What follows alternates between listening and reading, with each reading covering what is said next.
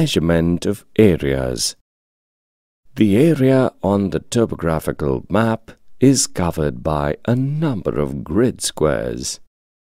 Each square measures 2 centimeters by 2 centimeters or 1 square kilometer. Since 2 centimeters on map are equivalent to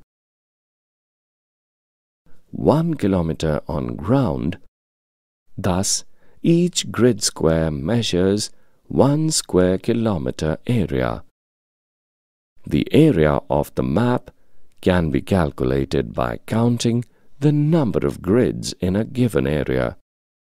The given topo sheet is part of 45D oblique 7 topo sheet.